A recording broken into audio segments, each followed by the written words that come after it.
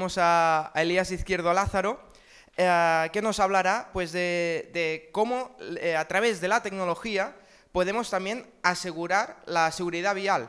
este, este, bueno, es otro de los aspectos que se ha de tener en cuenta a la hora de ir hacia una Smart Mobility, hacia ir hacia una Smart, eh, smart City ¿no? Eh, y hacia también un transporte flexible, que es el, tema principal de, esta, de esta, jornada. Eh, Elías, os lo presento rápidamente, es ingeniero agrónomo por la Universidad Politécnica de Madrid, máster en Ciencias de la Biotecnología por la Universidad de Wageningen, no sé si... Vale, eso. en los Países Bajos y MBA en Dirección y Gestión de Empresas Internacional del CECO, becado por ICEC. Eh, nos viene a presentar eh, Mobileye eh, como base para reducir lo que comentábamos, ¿no? significativamente todo el riesgo de, los autobuses y de los vehículos pesados en, dentro del, entorno urbano. Bien, Elías, pues muchas gracias y cuando quieras. Gracias a vosotros. ¿Me oís bien? Es por el... Ah, es por el... Sí, se está grabando. Hola. Bueno, buenos días a todos. Eh, lo primero, disculparme, pero no, no, puedo hacer la presentación en, catalán, no tengo conocimientos del idioma, pero voy a intentar explicaros pues, todos estos proyectos que tenemos. Eh, para nosotros la región de Cataluña eh, es, clave en el desarrollo y ha sido pionera a nivel, a nivel europeo en varios proyectos que os voy a ir, os voy a ir presentando. Eh, en esta diapositiva, la primera, vemos un autobús de Tarrasa, porque ha sido la primera ciudad eh, de la mano de Avanzabus en implantar los sistemas de eh, asistencia a la conducción enfocada a proteger al usuario vulnerable en las ciudades. antes de nada, comentaros que nosotros tenemos una empresa que nos dedicamos a identificar tecnologías, a promover proyectos singulares y a promover eh, la seguridad vial. Mobileye es una de las tecnologías que tenemos en nuestra cartera y es el líder mundial en sistemas de asistencia a la conducción.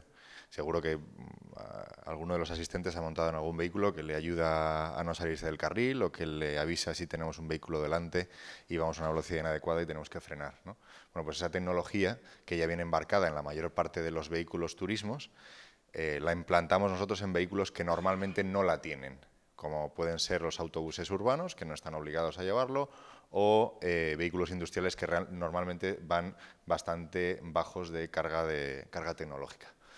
Es eh, el líder mundial indiscutible en esta tecnología, en asistencia a la conducción, se llama ADAS.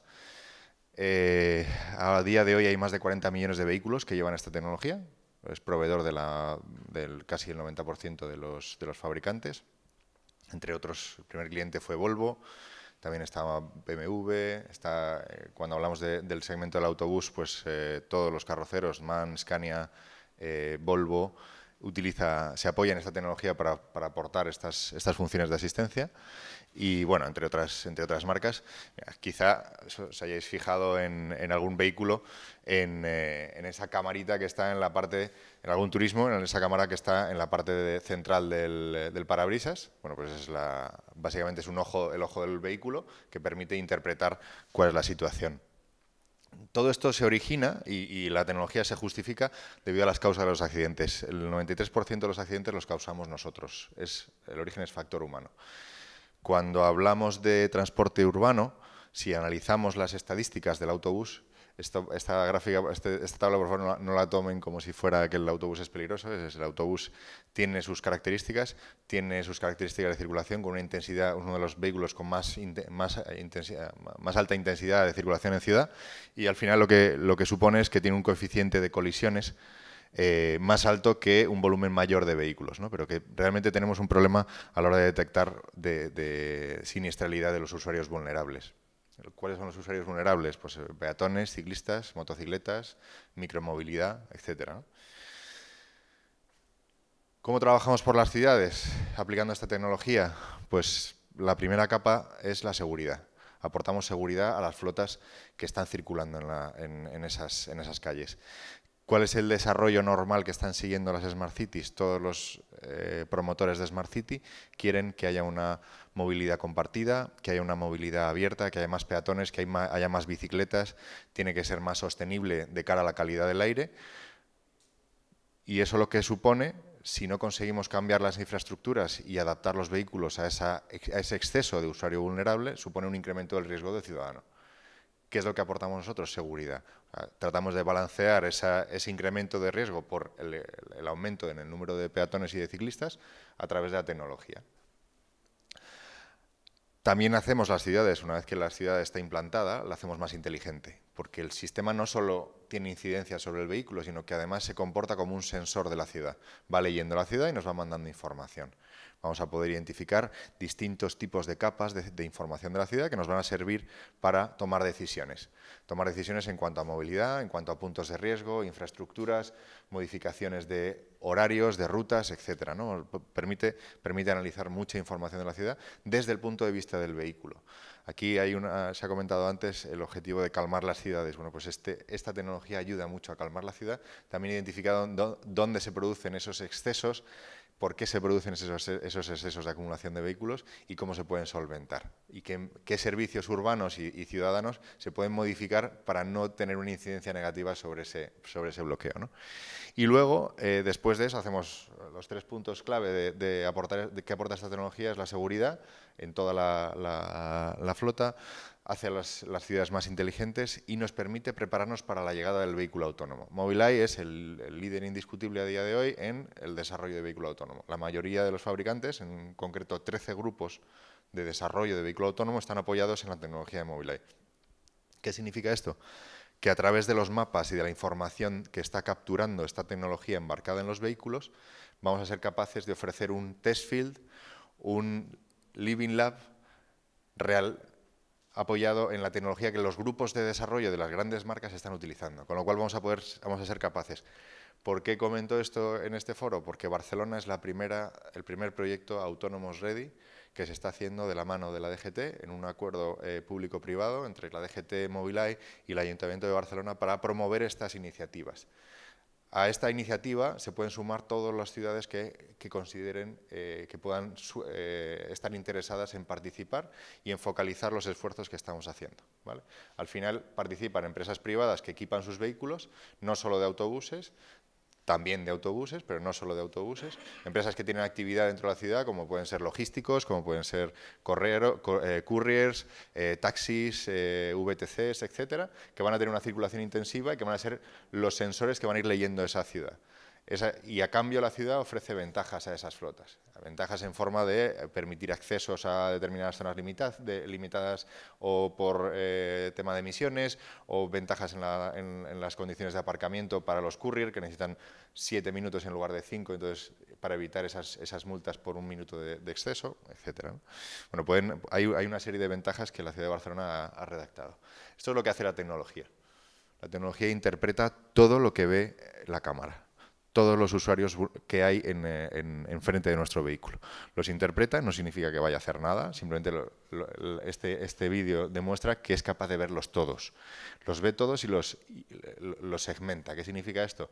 Va a interpretar si hay un riesgo para ese usuario con respecto a nuestro vehículo. Si nuestra trayectoria va a cruzar con su trayectoria, nos va a avisar y vamos a ser capaces de evitar ese siniestro. ¿vale? Cuando hablamos en un foro de, movilidad urbana, está claro que el vehículo pesado por naturaleza, el vehículo de transporte de, pasajeros, el autobús, y el, interurbano y el urbano, van a tener su peso. Entonces nosotros llevamos esas dos tecnologías que pueden cubrir esas necesidades. En urbano siempre trabajamos sobre un sistema que detecta en los ángulos muertos. ¿Qué funciones aporta nuestra tecnología? Bueno, pues aporta alertas para que evitan las colisiones frontales, detectan peatones y ciclistas y avisan en caso de, riesgo de atropello, salida de carril, distancia de seguridad y lectura de señales de tráfico. Cuando hablamos de autobuses, hablamos de esta tecnología. Os voy a poner un pequeño vídeo para que entendáis bien exactamente de qué estamos hablando. Cada año, más de 600.000 usuarios vulnerables de vías públicas fallecen en todo el mundo en accidentes de circulación, muchos de ellos debido a choques con vehículos grandes. La mayoría de choques entre vehículos grandes y usuarios ocurren debido a importantes puntos ciegos alrededor del vehículo. Estos puntos ciegos presentan la mayor amenaza al girar. Mobileye Shield Plus es una revolucionaria tecnología de seguridad para vehículos grandes que operan en ambientes urbanos que permite la detección temprana de ciclistas y peatones, ayudando a evitar lesiones y muertes. Utilizando una serie de cámaras inteligentes de visión artificial estratégicamente colocadas, Shield Plus actúa como el tercer ojo del operador, monitoreando continuamente los puntos ciegos. Shield Plus proporciona alertas visuales, auditivas y vibratorias en tiempo real cada vez que peatones o ciclistas están en una zona de peligro, dando a los operadores tiempo adecuado para reaccionar. Utilizando tecnología de visión artificial inteligente para analizar el ambiente dinámico de conducción, Shield Plus reduce las falsas alertas, ignorando objetos inanimados y peatones en zonas seguras. Shield Plus está conectado a un sistema telemático registrando la ubicación de alertas, proporcionando a los operadores datos en tiempo real acerca de deficiencias de infraestructura conocidas como puntos calientes, dándoles por primera vez las herramientas para hacer los cambios necesarios y reducir colisiones potenciales. La revolucionaria tecnología de Shield Plus crea un ambiente urbano más inteligente, haciendo a nuestras ciudades más seguras para todos.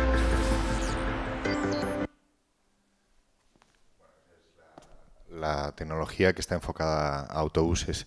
El conductor va a recibir una serie de alertas y avisos relacionados con el riesgo de su circulación y si, si se encuentra con alguna situación en la que hay un riesgo real de colisión, de atropello o de salida de la vía, va, a ir recibiendo mensajes, tanto visuales como sonoros, para poderlo evitar con suficiente tiempo de antelación. Pero esa es una ventaja aquí estaríamos hablando de, la, primera capa, ¿no? Es decir, oye, vamos a dotar de seguridad, de una seguridad que en los vehículos de alta gama ya empieza a venir de serie, pero en los vehículos urbanos que tienen un riesgo alto, que tienen una serie de, usuarios y de viajeros que hay que proteger, que tenemos una serie de usuarios vulnerables alrededor, en esos no viene en estándar, no viene, no está regulado todavía. Nosotros lo que hacemos es actualizar esa capa de seguridad, convertirlo en, en un vehículo muy seguro para el enfoque, para el enfoque urbano y entramos en la segunda capa cuando recopilando esa información vamos a, poder tener eh, una serie de, mapas de calor. Mapas, eh, hay se suele hablar sobre los puntos negros, sobre la concentración de accidentes. Esto es previo, es preventivo. ¿Qué significa? Cuando hay un punto negro es que ha habido un accidente. Cuando hay un punto caliente es que hay una zona en la que se está concentrando el riesgo de forma alta eso nos va a dar nos va a indicar cosas nos va a, dar mensajes ¿no? de alerta, decir, oye, tenemos que vigilar esta zona, tenemos que fijarnos en este punto, qué es lo que puede pasar, porque es, esa concentración de, riesgo va a suponer que quizá no hayamos tenido todavía un accidente, pero que de haberlo probablemente sea ahí. O sea, las probabilidades de tener un accidente en esa zona es muy alta. Entonces, con esta identificación nos va a permitir, primero, educar a los conductores, decirles, oiga, cada vez que pasen por esta zona tienen que extremar su precaución. Ya les hemos puesto un sistema que les va a ayudar, pero aún así ustedes tienen que prestar más atención. Lo segundo es ver el ayuntamiento, el área de movilidad, le estamos dando una, clave para que pueda modificar esa infraestructura. Fíjese usted en si el paso de cebra está bien puesto, si tenemos una valla en la acera, si hay una zona de bicicletas que sale directamente a la vía cuando tienes que, sacarla. No sé, hay una serie de cuestiones que cada una de las, de las áreas de movilidad tendría que considerar. Y lo siguiente ya es comunicar al ciudadano. Eh, ayer estuvimos en una presentación en la que un, eh, servicio de micromovilidad de patinetas le, daba al ciudadano información sobre cuál era la ruta con menos contaminación, porque bajaban los datos del, del, satélite y sabían cuándo había una concentración más alta de gases contaminantes en la, en la zona. Entonces le hacían una ruta, oye, pues imagínese que le pueden hacer una ruta sobre trate de evitar este cruce, que en este cruce hay mucho riesgo y le hace una ruta segura. Puedes elegir la ruta más corta, la ruta segura. Al final esto es como, son opciones de información, de, información abierta. Este es el caso de, la ciudad de Tarrasa. Eh, Susi López, no sé si la conocerán, del área de movilidad, eh, nos vio en unas jornadas en Madrid hace tres años, cuatro años ya, le lanzó el guante al operador que, está en, en, Tarrasa Avanza y entre los dos han diseñado una estrategia en la que los vehículos, empezaron por los vehículos eléctricos, porque eran los de mayor riesgo, se entendía que eran los de mayor riesgo, había poco, se, producen poco ruido, con lo cual necesitan una protección adicional para el usuario, para el, peatón o el ciclista, que puede que no se entere que está el gigante al lado suyo. Y eh, se hizo una, integración de los primeros, de primeros vehículos. A partir de ahí ya, en las licitaciones de adquisición de nuevos vehículos, se ha incorporado esta tecnología como un estándar. Entonces, ya tienen, eh, ya tienen un 30% de la flota equipada con la tecnología y sigue teniendo la voluntad de participar. Esto es un ejemplo de eh, análisis después de siete meses de, recopilación de datos donde se podían concentrar los distintos eventos. Son las zonas de riesgo. ¿vale? Esto no significa eh, que haya un accidente, no significa que la responsabilidad sea del autobús, no significa que la responsabilidad es una situación, es simplemente identificar una situación de riesgo. La hemos identificado, si introducimos, nos vamos analizando con más detalle, aquí estamos hablando de peatones, estas serían, las anteriores eran todas las alertas, o sea, todas las detecciones, cinco meses de alertas de colisión lateral, o sea, esto ya sería una situación en la que sí que ha habido un riesgo real y que se ha evitado ese riesgo real. Y aquí veríamos un caso concreto en la plaza del Dr. Roberts, que hay un hospital, hay un parque, tenemos aquí un hospital, una salida de hospital, tenemos un parque, aquí es una, zona de culo de saco que no, tiene salida y hay un paso de cebra aquí, a este lado. Entonces, vemos que hay una concentración alta de, alertas. Vemos que los peatones de cara a cruzar al parque no respetan mucho, sí que hay bastantes que pasan por el paso de cebra, pero hay una masa importante en esta zona donde hay bicicletas y motos aparcadas, están saliendo y entrando. Entonces, esta zona se, se, se, lleva, o sea, hemos sido capaces en, cinco meses de identificar que aquí tenemos un riesgo alto y que tanto los, autobuses, los conductores como el ayuntamiento, como los ciudadanos deberían de conocer esa zona. Al final en las carreteras vamos circulando por una nacional y vemos un cartelón de cuidado, eh, tramo de concentración de accidentes. Vale, pues ya sabemos, ya tenemos nosotros como ciudadanos, como conductores, tenemos la responsabilidad de modificar eso. Pero ya una vez que ya está la información encima de la mesa, pues ya empezamos a, poder tener herramientas para modificarlo de forma objetiva. Porque al final, oye, nosotros podemos tener una idea. En, Barcelona es muy curioso porque el, responsable de, movilidad con el que estamos haciendo el proyecto va en bicicleta al trabajo. Entonces, en la primera análisis que hicimos sobre los puntos calientes que habíamos detectado, dos de los puntos de los tres que habíamos analizado dijo, ah, sí, y es que paso por aquí. Dice, mira, y además esto es por esto, porque yo paso por aquí y veo cómo el autobús está entrando por esta zona y yo tengo que cruzarme y, tengo un carril bici que está puesto como un entre dos carriles de, circulación. Podemos tener nosotros la percepción ya previa, pero es muy difícil que el ciudadano que está circulando lo vaya a comunicar sí que hay herramientas, pero es muy difícil que el ciudadano pues, saque el móvil y diga, ah, mira, pues aquí hay un bache, pum, voy a ser buen ciudadano, voy a compartirlo. Si nosotros tenemos una serie de sensores por toda la ciudad circulando que están levantando esos datos, no necesitamos nada más. Y además podemos levantar no solo estos datos de riesgo, sino datos de la infraestructura, el estado del firme, el estado de las, de las líneas de carril, un montón de información ¿no? que nos es útil. Entonces, eso es un caso, que es el caso de Tarrasa.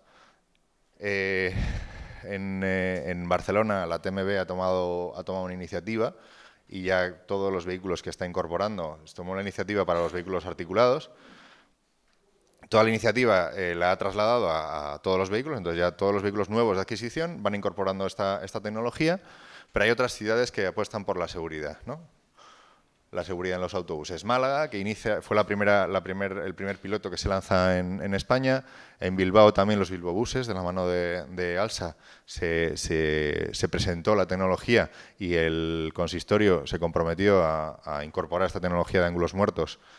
Eh, se, comprometió en el 2018, todavía es una cuestión política y no sé, estamos esperando las nuevas elecciones. El Ayuntamiento de Barcelona eh, tomó una decisión también de cara a las circulaciones de los vehículos por encima de 12 metros de equipar tecnología de detección eh, de ángulos en los ángulos muertos de los, eh, vehículos, de los autobuses, y permitirían su circulación por las rondas. Entonces es una ordenanza local que contempla ya empieza a contemplar estas tecnologías para facilitar el acceso. el Ayuntamiento de Barcelona tomó, tomó este este camino de la, regulación y del, incentivo a través de eh, también de eh, licitaciones públicas en las que recomiendan, por, ejemplo, los vehículos de servicios urbanos que tienen que traer sistemas de, detección de peatones y de ciclistas. Son vehículos pesados, son vehículos con mucha circulación y al final es, importante focalizarse. O sea, no solo están hablando ya de los, eh, de los autobuses. ¿Qué otras ciudades? Pues eh, Tarrasa fue la primera que lo, mete la tecnología en operación. En, eh, Málaga se realiza un piloto, en TMB se apuesta y el plan es aspirar a que el 100% de los articulados tengan la tecnología y todos los nuevos de renovación rígidos también el Bilbo Bus y, y Titsa en Tenerife, que ya eh, directamente en todos los vehículos que se van incorporando a su flota, incorporan la tecnología de asistencia a la conducción. Y eh, hasta aquí hemos llegado. Muchas gracias. Eh, si tenéis alguna duda, alguna pregunta, estaré encantado de responderos.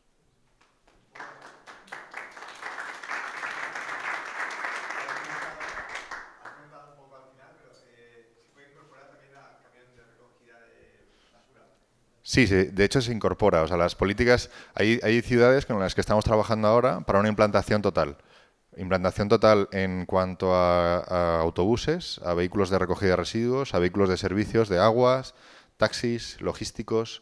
O sea, permitir el acceso al núcleo de la ciudad con un grado de seguridad lo más alto posible para cualquier vehículo que tenga que circular en esa zona. Sí que se puede, vamos.